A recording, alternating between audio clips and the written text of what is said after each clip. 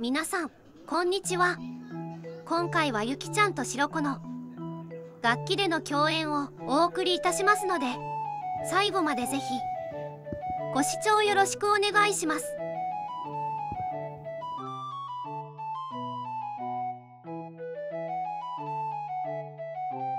ゆきちゃんは高校時代軽音部だったのでベースとギターが弾けます。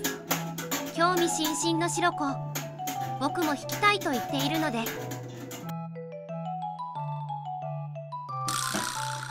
ベースを持つしろこ登場。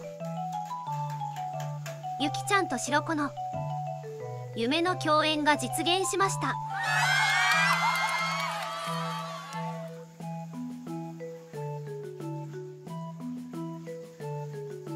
しろこかっこいい。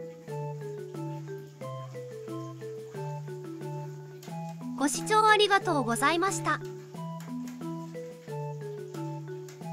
チャンネル登録高評価よろしくお願いします。